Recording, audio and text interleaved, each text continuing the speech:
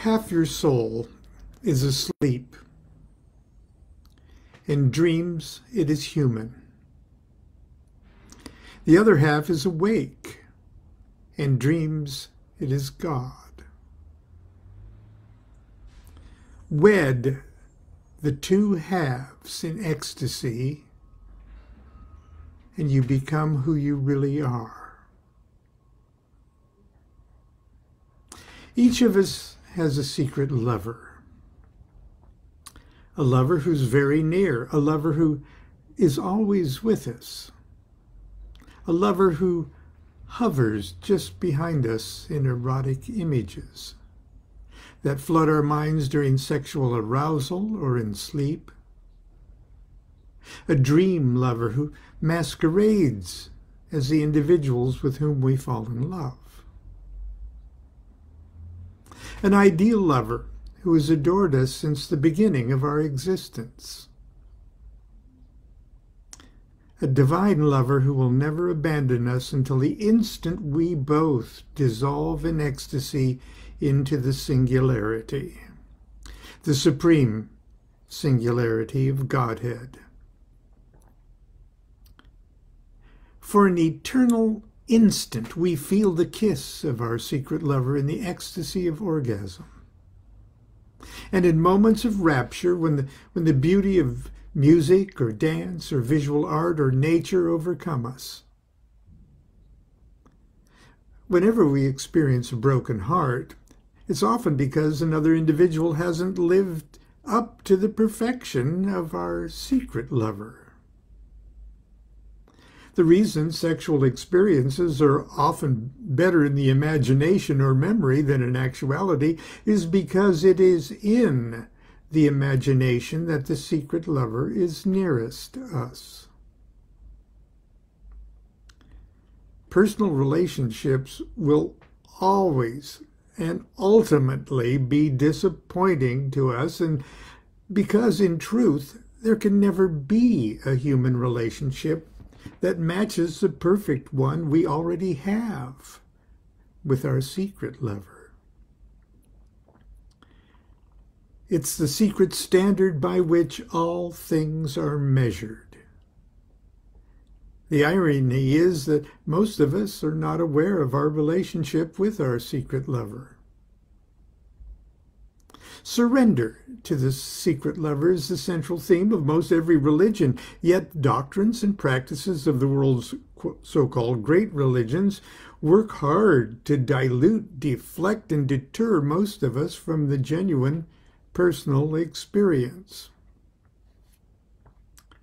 Moreover, the great religion and the great religious establishments have unceasingly labored to convince their congregations that this most private of all spiritual events, events is not a personal experience at all, but a mystery that's not for us to explore. An ambiguous and incomprehensible episode, something that must be validated by a priestcraft a priestcraft who will interpret it and then perhaps, just perhaps, allow us to participate vicariously with them in an approved pantomime of the, of the sacred marriage to the secret lover. It's especially ironic for those of us in the West that the mythical story of the life of Christ exemplifies in word and deed the central secret of this divine relationship. Many passages in the New Testament and recently discovered Gnostic, so-called Gnostic texts clearly reveal that the Christ is a projected image, not of a historical event, but of a level of consciousness that is attainable by each and every one of us. Try as they might, Western religions have found it impossible to completely obscure this most sacred mystery from the personal experiences of devoted individuals. The ecstasies of, of Rumi and Hafez, of the nun Gertrude, St. Teresa are unmistakable examples of a mystical sexual ecstasy, ecstatic surrender to the divine lover. It was only because of the influence and programming of their local religions and cultural environment that the image of their lover was that of Jesus, a Palestinian holy man. Had Teresa been a Hindu, her lover may have been Krishna or Vishnu or any number of deities of devotion. In fact, the Hindu yogis, and this is what I was talking about yesterday, the Hindu yogis have an entire system of self realization based on the power of pure love and devotion. Bhakti Yoga. Union with God through pure devotion. Now, if you're a devotee of a particular god or goddess of that particular system, the character and image of your devotion is already conveniently provided for you by mythology, artwork, and the doctrines of your religion. In some cultures, where the devotional character is particularly strong, the devotee transfers and projects the divine essence on the character of one's own teacher or guru Loving the Guru is the as the living incarnation of the uh, supreme consciousness.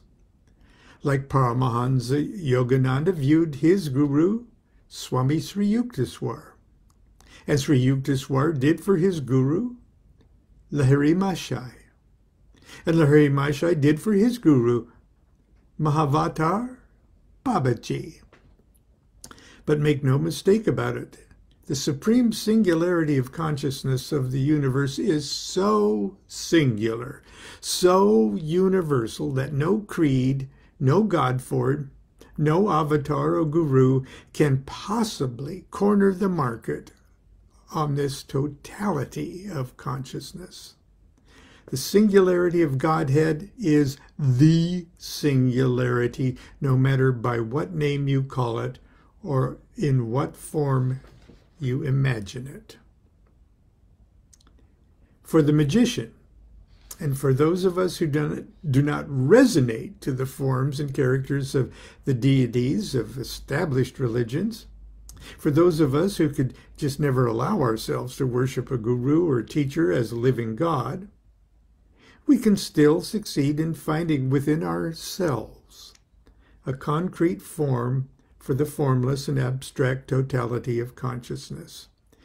We can find within ourselves a living symbol, an image we can hold in our minds and adore and unite with. We can still find within ourselves a visible vessel for the invisible deity. And that image is our holy guardian angel. And our holy guardian angel is a direct reflection of the singularity of Godhead. And we are the direct reflection of the holy guardian angel. According to the Chaldean oracles of Zoroaster, prior to any magical or theurgic uh, ritual, the magician must first invoke and become united with something called the Agathos Daimon, or good spirit, or noble spirit. It's conceptualized as a personal guardian spirit or angel whose function as mediator between the magician and the gods. Socrates claimed to have what he called the daimonion, which usually, loosely translates a divine something. The voice of his daimonion, D-I-A-O-N-I-O-N, daimonion, which loosely translates a divine something. The voice of his daimonion never told him what to do, but it frequently warned him against mistakes. In Western Hermeticism, this spiritual lover is called the Holy Guardian Angel or the higher genius, Adonai, or the master within. And ceremonial magicians have latched on to the term holy guardian angel. And our marriage to this spiritual being is called knowledge and conversation of the holy guardian angel. The term knowledge and conversation of the holy guardian angel first appeared in this context, in which is arguably the most influential uh, magical text of all time, the Book of Abramelin by Abraham the Jew of Worms, a German alchemist who lived from 1362 to 1458. In the book, he tells the tale of Abramelin, an Egyptian mage who, after many ordeals, taught him a supreme secret of magic and practical instructions to use to master and control all spirits, including those other magicians fear as being evil spirits. The great secret was that each of us is possessed with our own personal divine guardian angel, who in a sense is our soulmate, and in another sense is the other half of ourself. But at the moment, it doesn't do us any good to think of it as the other half of ourself because our consciousness is vibrating on such a low frequency that from our current point of view, the Holy Guardian Angel really is an objective, separate being. But in fact, we're not fully ourselves until we have profoundly united with our holy guardian angel. And what's more, the angel is not fully itself until it is united with you. In other words, the holy guardian angel needs you, or perhaps more than you think you need the holy guardian angel. Once his marriage is complete, once you both, you and the angel, are a single unit, then and only then is the magician truly a magician. Possessed with the spiritual insight and integrity to wisely wield the powers of a magician. Until knowledge and conversation of the holy guardian angel has been achieved, the proto magician is operating blindly in the dark and does not yet have the wisdom or discernment to know what is or is not in his or her best interest. This little tidbit of information is actually pretty big stuff. And in the late 19th century would blow the minds of the leaders and initiates of the Hermetic Order of the Golden Dawn, who realized this secret rescues the practice of Western ceremonial magic from a collection of superstitious and clumsy attempts at bargaining with demons and bribing angels, and elevates it to a science of self transformation on par with the disciplines of yoga and the great mystical systems of the East. In 1888, a fragment, a fragment of a copy of the Book of Abramelin was uh, translated by Samuel Liddell MacGregor Mathers and published as The Sacred Magic of Abramelin the Mage, and immediately became a sensation among the initiates of the Hermetic Order of the Golden Dawn, who were quick to see that knowledge and conversation of the Holy Guardian Angel was a level of consciousness which corresponds to the initiatory level of now this is Kabbalah here, the, the initiatory level of Tifereth. Right there, number six on the tree of life. Okay. Uh, on the Kabbalistic scale of consciousness known as the tree of life. Now it might seem the term holy guardian angel is a very unsatisfactory way to describe a shift in human consciousness or a level of awareness. But in many ways, it's just perfect. When we hear the term holy guardian angel, many of us immediately think of one of two things something sweet and warm and fuzzy, like Catholic children pray to the guardian angel. Angel of God, my guardian dear, to whom God's love commits me here, ever this day, or if it's at night, ever this night, be at my side to light and guard, to rule and guide. Amen.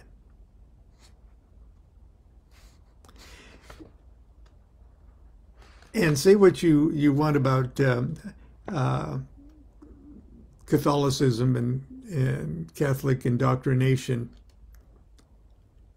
That is still a pretty good thing to uh, plant in a child's imagination, unlike most everything else attached attached to that that system. Okay, but that one that's a pretty good idea, I think. Uh, well, you either think of that or you uh, you think uh, you try to explain things by pointing out to a location somewhere on a chart like the Tree of Life. Uh, which is a diagram which tries to map out our existences uh, and being as levels of consciousness from from your head up at the uh, down at the bottom at 10 to Godhead up at number one. The singularity or the supreme intelligence. Using this map, existence as we normally perceive it, and the objective reality most of us identify with is way down in number 10 the slowest and most dense, slowest vibratory frequency of consciousness. Kabbalists call it the microcosm, or the little world, the manifest world of matter and energy, the world we call objective reality, and our everyday consciousness. Ancient Hermeticists tried to understand this phenomenal world as the interaction of five fundamental uh, elements fire, water, air, earth, and spirit. So they represented this, this uh, objective reality, uh, this microcosm, by the figure of the pentagram, or number five there.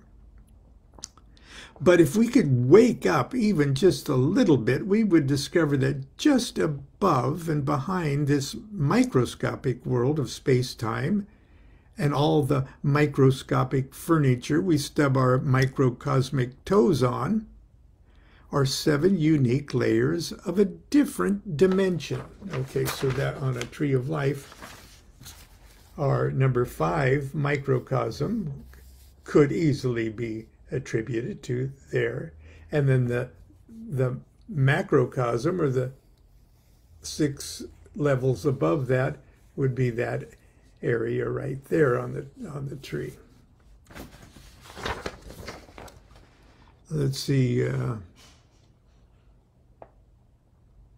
a different spectrum of consciousness frequencies like that, like a rainbow of colors created when pure light is passed through a prism that shatters the pure light of Godhead and spreads them into the spectrum of uh, descending levels of consciousness. These seven layers of consciousness the ancients attributed to the seven planetary spheres. Together they form what they called the macrocosm, the greater world, the higher dimensions of consciousness and reality represented by the hexagram, the six planetary spheres around the central uh, number six sun, which is often used to symbolize the sun uh, surrounded by the spheres Saturn, Jupiter, Mars, Venus, Mercury, and Luna. It is our great work, indeed. It's our inescapable destiny to achieve perfect realization of and attunement with this level of consciousness. Christian mystics call it Christ consciousness, where the consciousness of the Father is perfectly reflected in the consciousness of the Son. Now, I've uh, got this material out uh, today because later on this afternoon, uh, I will be uh, interviewed and, and speaking in a at uh, at a thing about the the holy guardian angel, and when uh, when I find out what the link of that will will be, I'll be sure to share that with you. I'll have more to say. Rambling on off the top of my head, which is, this was the good stuff. Anyway, until tomorrow for Saturday morning cartoons, continue to be good to yourself, be good to each other. Do what thou wilt shall be the whole of the law. Love is the law, love under will.